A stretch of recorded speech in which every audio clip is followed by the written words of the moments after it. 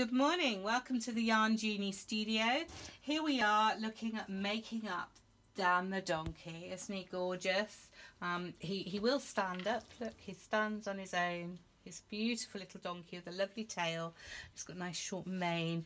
And then he sits down and watches me while I work with his little doleful expression on his face. So when we knit up Dan, you've got the pattern and this is what you will knit and somehow it doesn't quite look very Dan the donkey like. But this does all work. What we'll do is we're going to roll up each of these. This is one of his back legs. Here's the other back leg. This bit will become the body. Here you've got two front legs, just sit like that. And this bit in the middle, you've got this hole. This is what you created when you knitted halfway across and cast on some extra stitches. Uh, and then there's some increases up the neck here. What does is that gets squished up together, that gets gathered, and it will pull the head up to make it sit up. This is the top of his head and his white muzzle here. So it does all come together to make a beautiful Dan the donkey. Oops, stay there, sweetheart. Good boy. Um, so what you'll also need to get ready is you're going to need a good amount of wool for sewing up. Um, oh, here are his ears that we knitted separately. Um, those are going to get sewn on later. Uh, you'll need some scissors, some nice needles with some big wide holes if, you, if you've got thick wool. Um, and this stuffing, you'll need quite a lot of stuffing. This is washed and carded fleece. It's pure wool. It makes lovely stuffing. Uh, but you can use polyester or um, synthetic stuffing if you prefer and you can of course knit Dan in any size. This was knitted on six millimeter needles with nice chunky yarn. You'll see it's very tight. It's made quite a tight fabric and that's because I don't want the stuffing to show through when we make it up. So I always recommend knitting in a bit a slightly smaller needle size than is recommended for your size of yarn. But you can use any any needle size, any yarn that you like and so your piece of Dan that you're sewing up may be bigger or smaller than this and that's all fine. So we're going to start by sewing up one of Dan's back legs. So here is the back leg piece and we need to roll it around so we've got the right side, the, the smooth side facing outwards. And we're going to start with either a yarn tail or a new fastened on piece of yarn. We're going to work in stocking stitch. So it's this is rolling a little bit. If if your piece of Dan is rolling a little bit too much, don't worry. I do suggest you actually just block it very lightly if that helps you. So I'm just going to wrap it around my finger here and I'm move it going to just fasten this across and then what we're going to do we're going to do a mattress stitch now this is explained in the technique section of the pattern but essentially we're just going to pick up two threads of our knitting. So that's the sort of the top of the V of one side. And I know this is not going to show up terribly clearly on this video. Um, as I say so do look at the pattern. And then we go across and we pick up two threads here. Can you see that's the start of a stitch on that side? And Joe's coming in so close with the camera here that actually I'm, I'm almost watching this on the screen. It's quite fun. Um, so anyway we come back here and we're going to pick up another two threads this side. And you don't need to worry about making it completely tight as you go up not at this stage anyway. So I'm just moving it across. You can almost see my new stitches there but I'm going to tighten those in a minute. So I'll just do a few of these. Three stitches there. Oops. so what we've got there can you see it's starting to make a little tube and then what I'm going to do is I'm just going to pull this really tight there. And then see that closes it up. And to be honest you can't really see too much of a seam. It's almost perfect which is really what we're aiming for. Okay so here we've got the first leg sewn up. This is done up with mattress stitch so you can see there it's quite neatly joined the two together. So in the technique section of the pattern you will find a whole page on mattress stitch with lots of photographs so have a look at that and see how it goes and that will help you make this nice neat seam. Now you can see we've sewn up to the top of his crotches so where the body that's where the flat piece comes out um, meets the top. So we've sewn that together. And at this stage, we haven't actually sewn up the bottom of his foot. That's still open. Um, and I'm going to sew that up in just a moment now. So I'll show you why I've left it separately. Now I am going to leave, leave this yarn tail floating around because to be honest, we may well use that bit later. You often need a bit more yarn as you go along um, for sewing other parts of his body. So rather than cut them off and rejoin new ones, I tend to just leave these floating around and then use them a bit later. But now we're going to sew up the bottom. Now the reason we do this separately is because we want to try and make his hoof as flat as possible at the bottom. Um, so I'm not going to gather it. What I'm going to do is sew it across in a kind of darning like motion. So I'm just going to take the very edge of his hoof and I'm going across, right across each time. And then we're going to go across here and sort of go backwards and forwards. You can see I'm sort of kind of darning this across the bottom of his foot, which if done in the same yarn will be completely invisible. So I'm not pulling these very tight, I'm just darning them across to make sure all the holes are covered up with some thread. And you can actually weave this in and out to make it even more secure. And then do this if we can get a finger in it, but you can push it down and have a look. Can you see how that's actually come up quite flat? So what I don't want to get is something that's too rounded or pulled in. I want to just get it as flat as possible. And that just helps Dan stand up and also look a little bit more donkey-like because they don't have rounded hooves. They have flat hooves. Oops, and I'm going to cut that bit off. We don't use that again. All right, um, so the next job that we're going to do, sorry, quick adjustment to the studio setup here. Um, we are going to start stuffing this. Um, uh, so we're going to get hold of some of our fleece and we're going to start working with that. So we take a piece of fleece and I'm just, just sort of stretching that out to flatten it a bit. And then what I want to do is stuff these legs really, really firmly. Um, you can't really feel that in the video, but this is actually really quite firm. And the reason for that is it does help Dan stand up and have a little bit more rigidity about him. So what we're to, I'm going to do is I'm going to take this piece and I'm just going to roll it really tightly. Just folding the edges in. And there we go. Roll it. So he's really tight there. And then I'm going to start to stuff that down the leg like this. And what you actually need is a pencil, one with a rubber or a blunt end to it. And then you can use that to actually push this fleece right down. And you see how all that's been swallowed up inside, inside his leg. There you go. So that's only come up to there now. That was quite a large piece of fleece and it's just stuffed up to there. So I'm going to put another bit in to the top of that.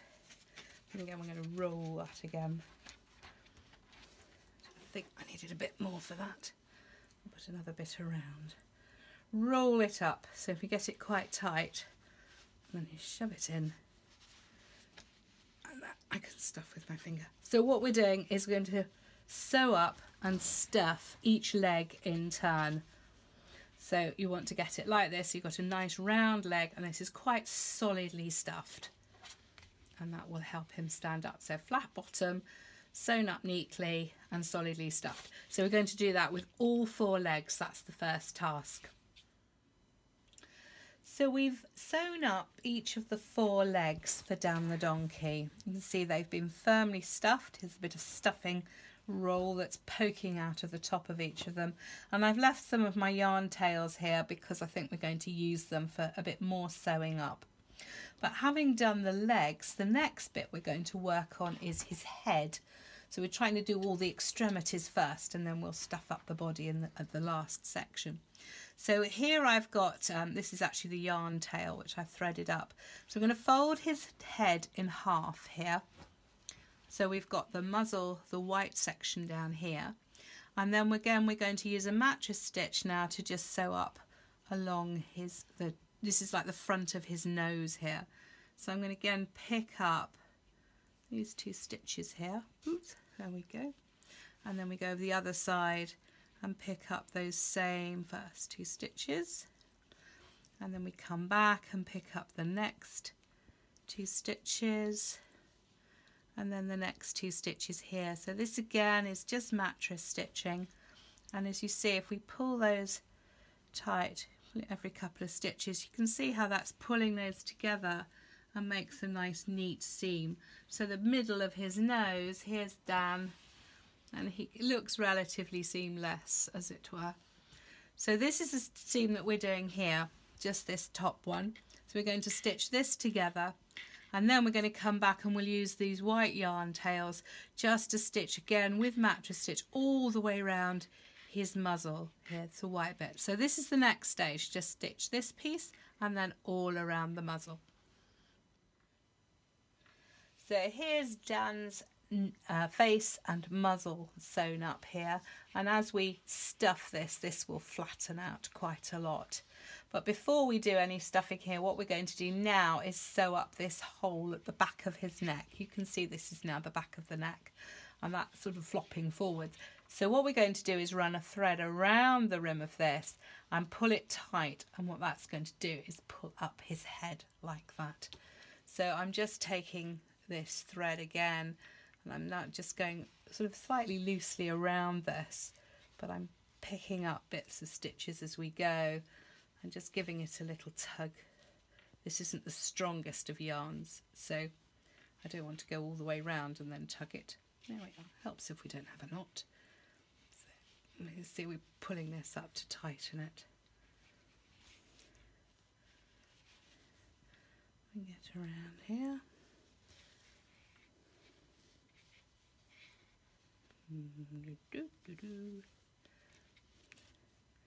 And right back down to the bottom and then I'm going to give that a little tighten as much as we can there. Can you start to see? It so we pull the hole together and that's starting to now pull his head up and make a neck. And I'm going to just fasten this off and just neaten it a bit.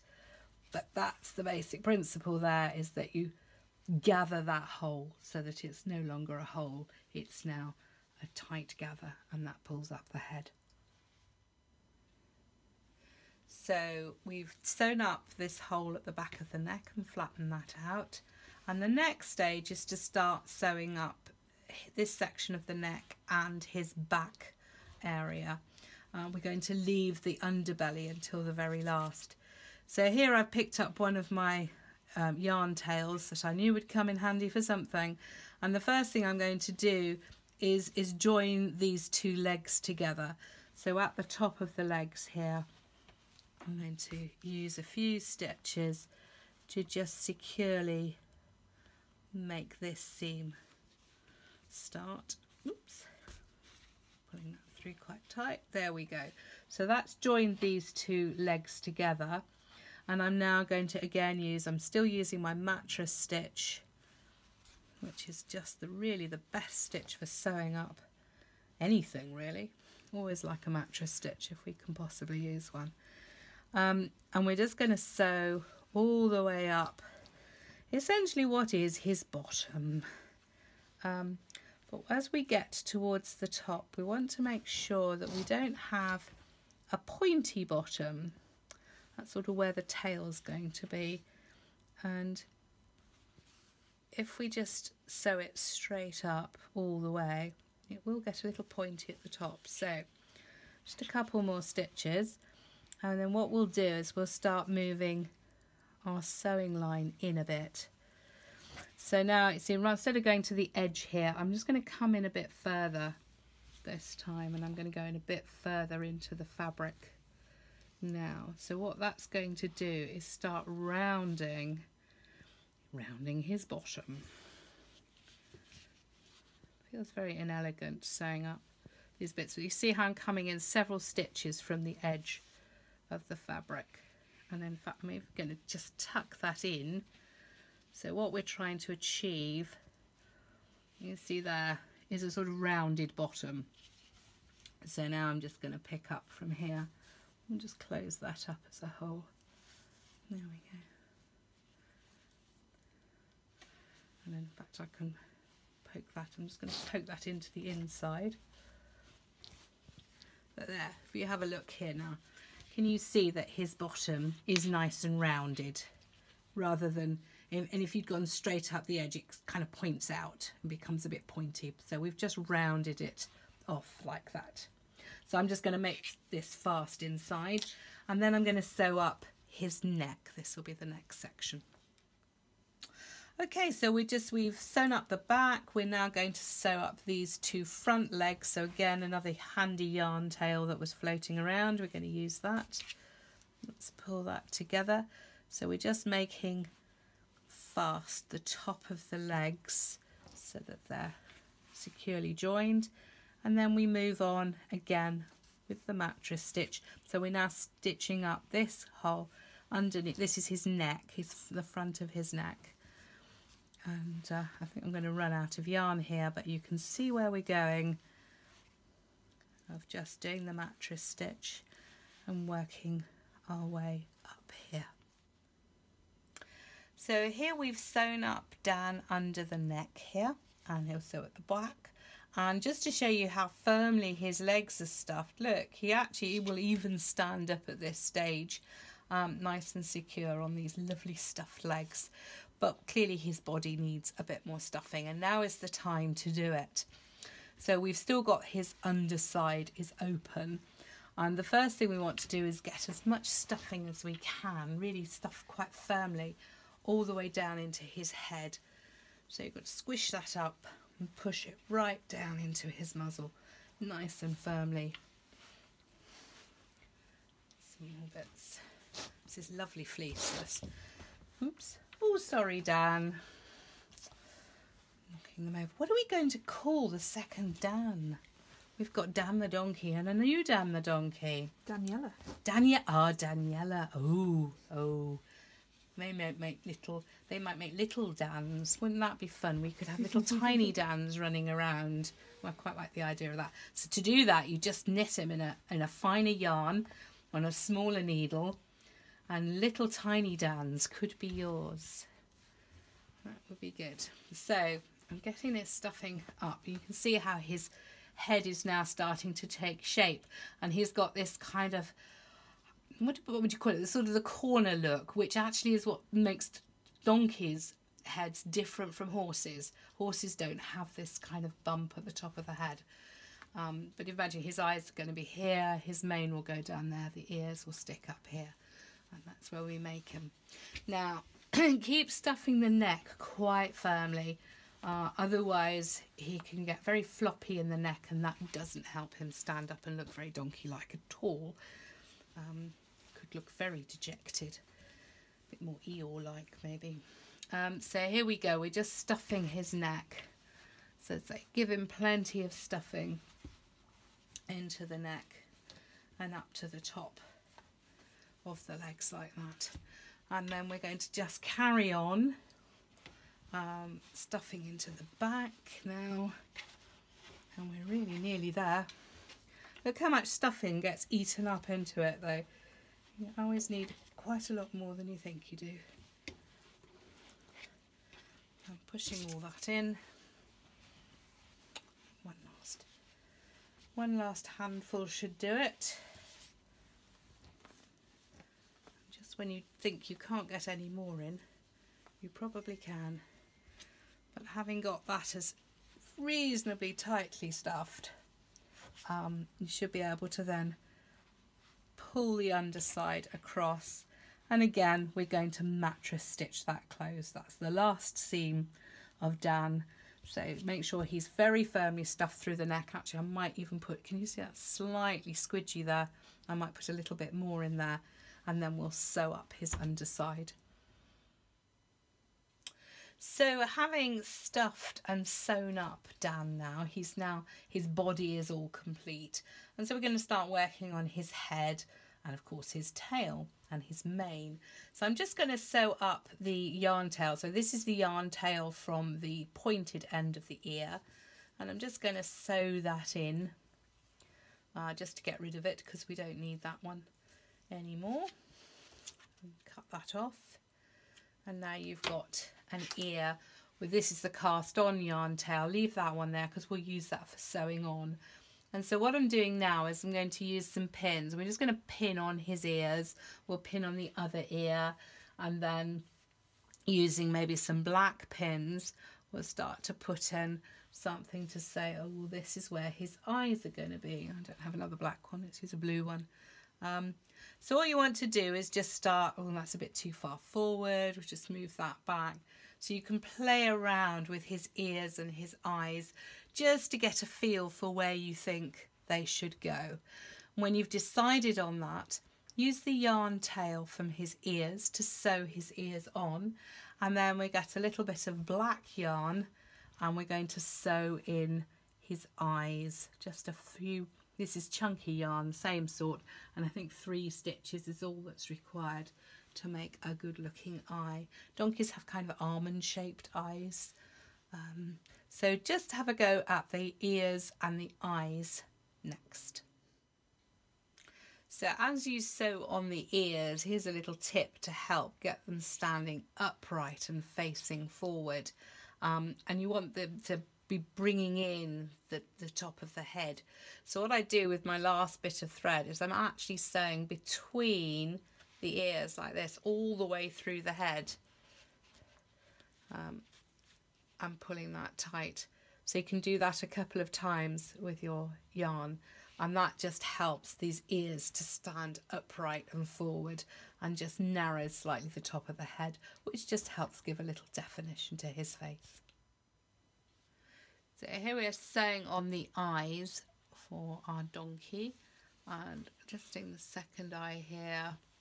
So kind of three big stitches there, so roughly underneath the ears, moving forward. And then when you get to the last bit, to finish this off, try and poke the yarn in, take your needle through to a different area. And then if you actually just pull that slightly tight, snip it off, and then it disappears back into your donkey, um, buried in the stuffing now, never to be seen again, and that should work. So there we are. So we have our donkey, we've got his face going and his ears, and we're now ready for a mane and a tail. So here we go. We're starting now to put on the tail and the mane. So to put on the mane, I've cut some little pieces, they're sort of five to six centimetres long, because donkeys have quite short manes, little Mohicans really. Uh, and what we're going to do is we're just working down this back line of stitches along the back of the head. So I'm putting the crochet hook in and I'm using a carpet knot to secure them. So we're pulling the mane through and then looping that through again. So you've just got that little loop to secure it. Pull that nice and tight and that will stay there. Let's just do another one. Show you again. So we're going through with the hook. Find a little piece of thread. Fold it in half. Pulling that through and then again taking those last two tails through and we can pull that nice and tight. So carry on working that all the way down the back and uh, again with the tail I've used exactly the same thing carpet knot. Here I've fastened three strands so they're each hanging double so I've got six bits of yarn hanging out of his tail. Six is a good number because I'm going to make a nice little plait out of that. So I'll do that in a minute. We'll plait it up. Um, so I'm just going to carry on down the back of his neck now and finish adding hair to his mane so Daniela Donkey is uh, nearly complete now. Uh, she's got a nice long mane, which we're just going to give a little trim to. So just take your scissors and you can literally trim along like this to give her that lovely tufted Mohican. Messy job, but it's quite satisfying. My hairdressing skills are not great, but there we go. So Daniela's got her little tufty. You might want to tidy that up a bit, but there we go. And then the final thing is I'm going to just quickly plait her tail here. You notice how she's suddenly become female.